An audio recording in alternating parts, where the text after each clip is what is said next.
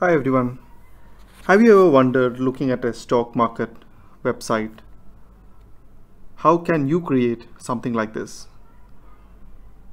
Say it shows the various trends one month, three month, six months and so on all these analysis so let's let's try to create something like this in Power BI let's co-create and see how it will look like.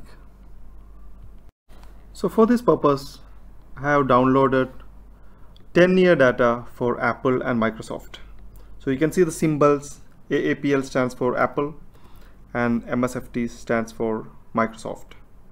So we have around 5000 plus records of quality data starting from 2010 until today 2020 and we have open close all this information. But I'm currently focusing on this close value. The every day's final closing number. So this Excel contains Apple and Microsoft. So let's go and fetch this data.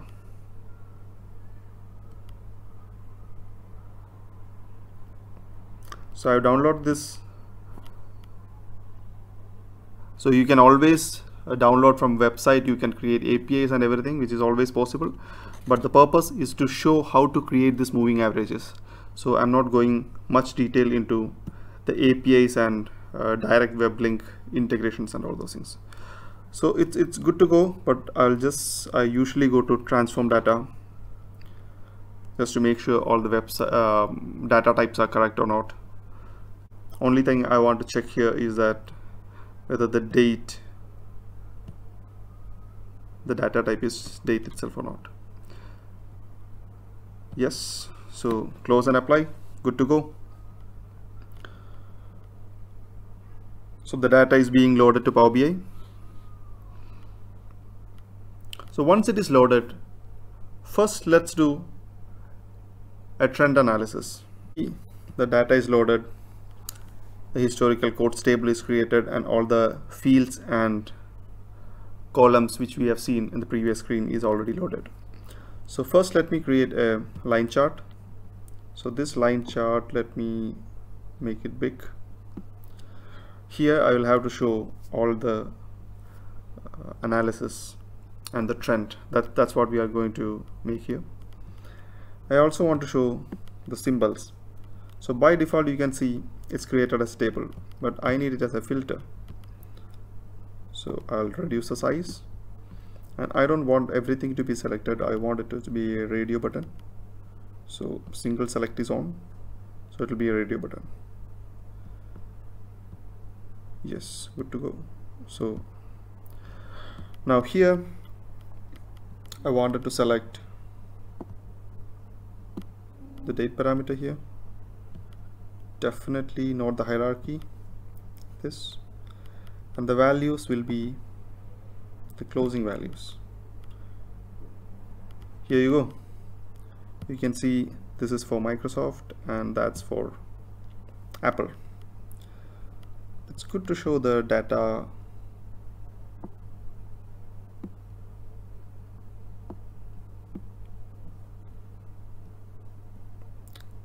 Labels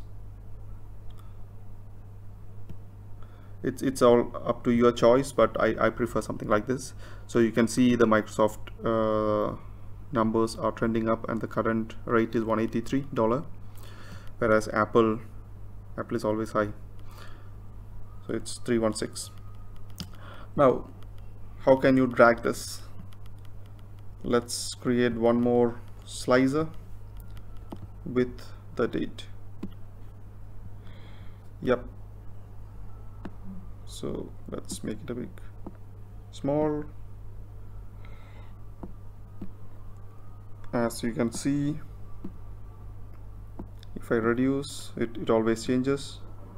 So it's from this date so let's make it big. So now it's good to go. We have the data we have Apple Microsoft and the trend line is available. Now let's create the moving average. That's what our whole purpose was so how to create the moving average? We will have to create one new measure. This is a formula I already prepared and I will explain this how I am creating this uh, new measure. So the measure name is one month average and this variable and return I will explain later. This part is a major formula the calculate. So under calculate what I am going to calculate here? The sum of the daily closure values definitely this is a number which we are plotting.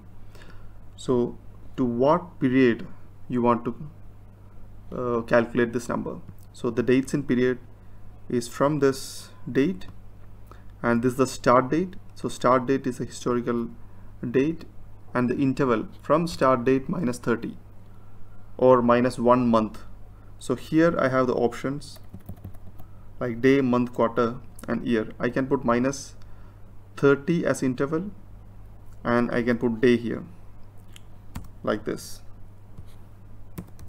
30 as the interval and number of days. Or I can put 1 and say that this is a month. So for last one month take all the values sum it up divided by calculate the distinct count of all the dates. So it is possible that on su Sunday and Saturday there, there may not be uh, values available because there is no trading. So you cannot simply divide by 30 you should take the distinct count of whichever date the values were available. So again the dates in period this is the date which we are um, referencing. So this is a reference date and this is the start date and this is the interval. So in this in this case we are going back. So my start date is say for example today minus 30 and then this is the month. So again in this example it's one month average. So I created a variable named interval. You can put any name for this variable. So for a meaningful purpose I put interval equal to minus one. And I put month over here to de denote that I'm going from start date to one month before. And I'm returning this value. So this is one month average. It's created. Let me copy this same way I can create another measures so it's always easier to have these variables in place. So if I want to create a three months average nothing else to do it's three. Rest everything remains the same. And similarly I will be creating six months and nine months.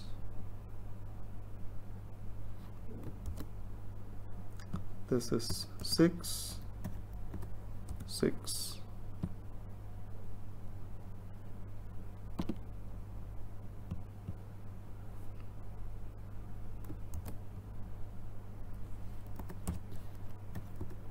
Nine. So that's the power of using variable otherwise we'll have to change every verb now you have that all the variables created.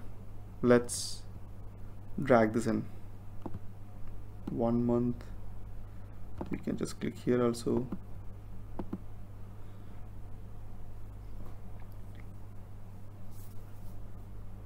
So it takes a little bit time to calculate because all these calculation formulas are loading now. And then it is calculating for Apple because we have selected Apple. It has loaded but as you can see it's it looks so clumsy.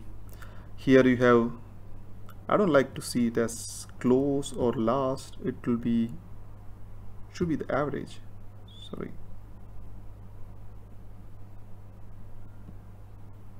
And let me rename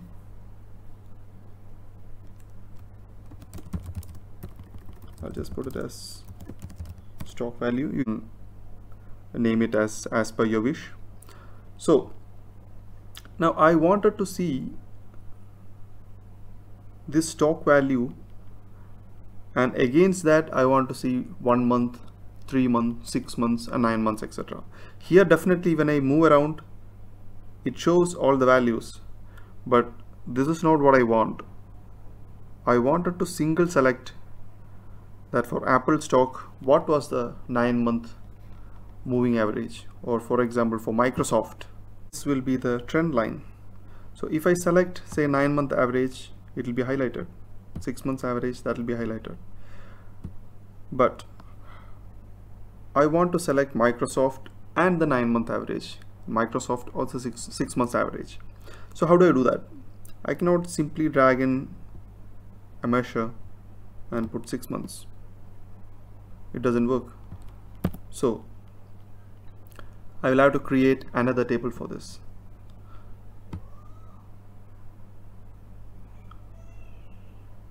And what should be the table name? That I really don't care. I just need a key and value. Why a key? You can still live without a key but uh, it will be helpful while sorting. Say for example I have one month uh, three month six month and nine month. Suppose if you are creating for uh, two year five year max and all then you need sorting. So you cannot sort based on this value because it will be alphabetically sorted. So you need a key. So let's create a table. It's applying changes. And this table will be created here. This has a value so what should I do with that?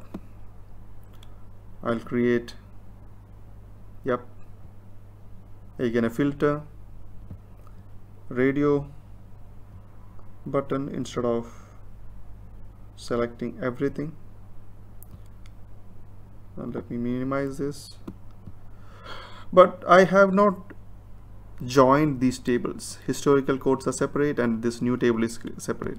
So when I click on this nothing happens so how do I link these two? If I link this one month and this one month average then the moment I click on this radio button I will only see that one month moving average line for Microsoft and the same with Apple. So how do I do that?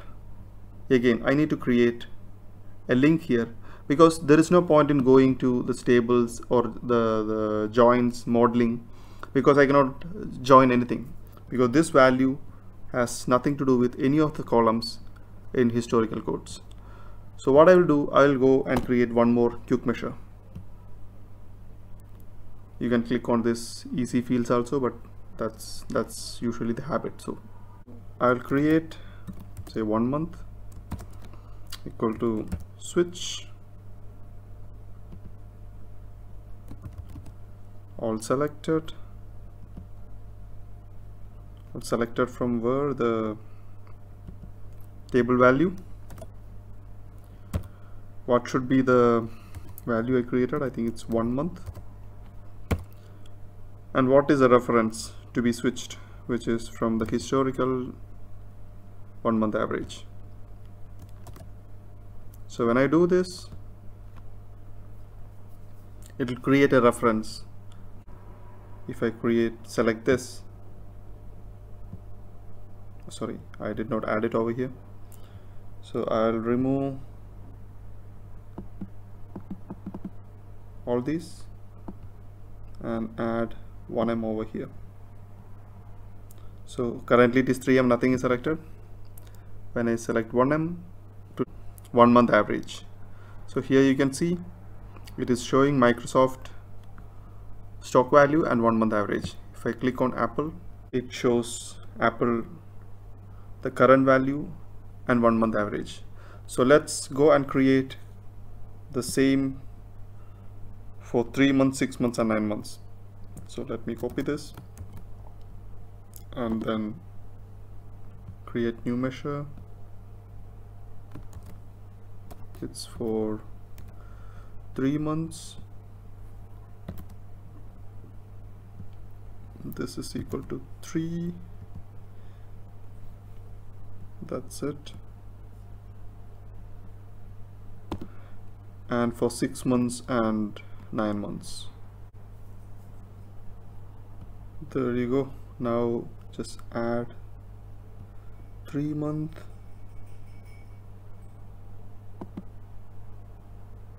Six months and nine months. This gives a better picture for a three year duration. And I don't like to see this one month three months six months over here because it doesn't make sense anymore. So we can remove the legend. Looks good. And this even this title. So the title should be something around uh, stock value and moving average. That's what our whole purpose purpose was. Stock value and moving average. That's it. Now if you select Microsoft one month. Now when you select three months it will calculate for three months. If you select nine months you select nine months it will show nine month average and that's it. Now you have many other options like if you go to formatting or uh, the view options you can change the theme change the page view uh, create the mobile layout. So suppose if you go to theme gallery or customize the current theme because some people would like to see the black screen instead of the white screen. The stock usually comes in the uh, in, in the black theme with uh, different colors of layout. So so you can change all these over here. Name card advanced the text visuals the border background header tooltips. So tooltip is something which when you move the arrow here it will show all the numbers. And the page filter pane. So I'm not going to change any of this. You can explore over there. So this is something which I mentioned by tooltip yep there you go. So this is how you create uh, moving average trends from various stock symbols. You can try out yourself. You can download into excel or you can directly try connecting from the web pages. There are options available or you can choose apis probably in the next um, videos we will try out something like how to extract directly or take online data or you you can connect your, your your database or website or somewhere and take the data directly which is all possible but the core content should be the then the extensions like APIs and all you can always create which which is not not so big. So now you know how to create a stock market trend in Power BI as you can see this is the trend analysis chart and there are candles possible because we have open high low close and everything. So this is also possible in Power BI probably you can explore it or tune in so in some of the next videos I'll, I'll come up with the same. Thank you all. So if you like this please don't forget to subscribe. Thank you very much